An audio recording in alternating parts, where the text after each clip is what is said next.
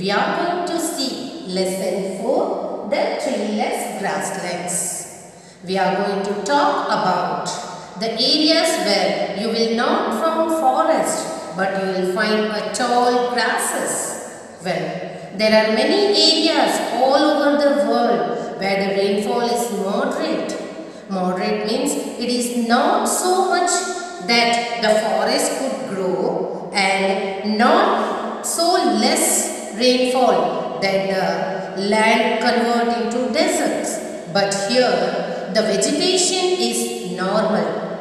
In this region only grasses grow. Most of the grasses of the world are found in a temperate zones. Children, what is mean by grassland? Yes, grasslands are large plains or of grass. It covers one-fifth of the area. What? It covers one-fifth of the land surface on the earth. They are found in warm and dry places.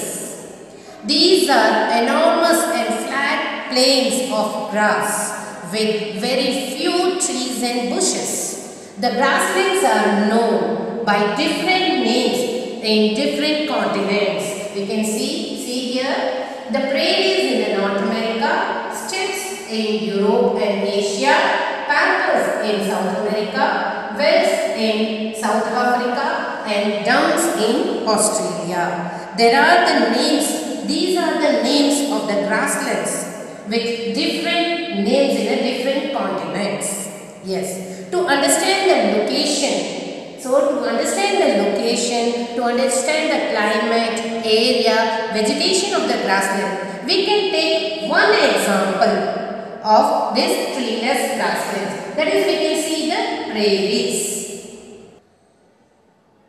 The prairies, first we can see about the prairie. The prairie are a vast stretch of sloping grassland situated in the interior part of North America.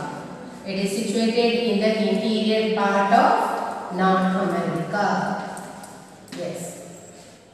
The word prairie, the word prairie is derived from the French word which means grasslands or meadows. See here, the word prairie is derived from the French word means it means grasslands or meadows. Now we can see the location of prairies.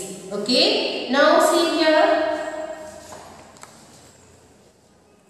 The prairie extends from the prairie extends from Canada to Canada in the north to the Mexico in the south. This is here is the prairies. Okay, and it is situated in the northern hemisphere. It is situated in the northern hemisphere. It covers the central of USA. This is see here this is United States of America. So it covers the whole central USA. Okay, can you understand? Now we can see about the land.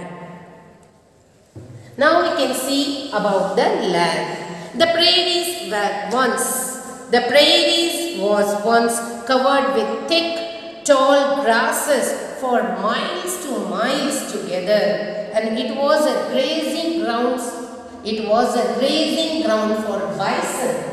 Okay, but once the Europeans arrived on this lands, they settled down, they settled down and they cleared the land and they cleared the land for agriculture. Now, this has become a biggest farming region of the world. The prairies has become a biggest farming region of the world. The Mississippi, see here, the two rivers, the Mississippi. The Mississippi and Missouri. The river Mississippi and Missouri are two big rivers that flow through this region. These rivers and its tributaries are boon for the farmers as they provide water for irrigation. Now we can see about the climate of prairies. The prairies have semi-arid climate. The prairies have semi-arid climate. The winters are cold and summers are hot. Rainfall is moderate about 52 to 70 centimeters and occurs mostly in the summer season. The, this climate is not suitable for trees to grow. Only grasses can grow. Now we can see about the vegetation. A wide variety of plants grow in these grasslands. Trees are rare in the prairies except along the rivers but the grasses grow quickly during the spring season and changes to hay in autumn. Okay, now again see the vegetation. A wide varieties of plants grow in these grasslands. Trees are rare in these prairies, but except along the rivers. But grasses grow during the spring season and changes to hay in autumn. Wildlife. Now we can see the wildlife. What type of animals are here? The animals that live here have adapted themselves to the semi-arid climate. The few animals are bison, prairie dog, prairie chicken and coyote. Okay, again see here wildlife. The animals that live here have adapted themselves to semi-arid climate. They can withstand very hot summers and freezing cold winters. The few animals are bison, prairie dog, prairie chicken and coyote. Next, we can move on to the economic activities. The prairie farms are huge and stretch over thousands of hectares. Maize is cultivated in the eastern part, wheat in the central part. Cattle is reared in the western part. The prairie region is perfect for growing wheat. Farmers produce enough wheat for the whole country and also for export. That is why the prairies are called the wheat basket of the world.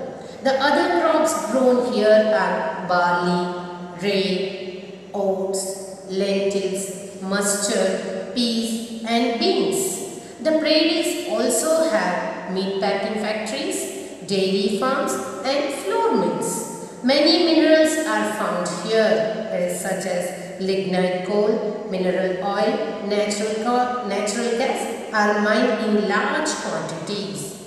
Gold, silver and potash are also mined here. The availability of these minerals has led to the development of oil crushing factories and oil refineries. An extensive network of roads, railways and canals in this region coupled with industries have made the prairies one of the most industrialized regions in the world. Next, we can see the life of the people. Agriculture is the main occupation. An average farm here is spread over thousands of hectares. Farmers live with their families on the farms. Some workers or helpers also live on the farms. Homesteads are built for the farmers, family and for the workers. Okay children, what is mean by homesteads? Homesteads means a house built on a farm with buildings around it. Okay? Small sheds are built to keep the cattle and farm machineries. They use scientific technologies, plowing, sowing, harvesting, threshing and winnowing are done with the help of machines. The storing of food grains in the silos is done through machines. Silos means tall containers in a shape of cylinders to store food grains. Thus, only few workers are needed to cultivate thousands of hectares of farmlands. The open land towards the west is hilly. The open land towards the west is hilly. The soil here is coarse and less fertile. And in this region, animals are reared on large open areas called ranches.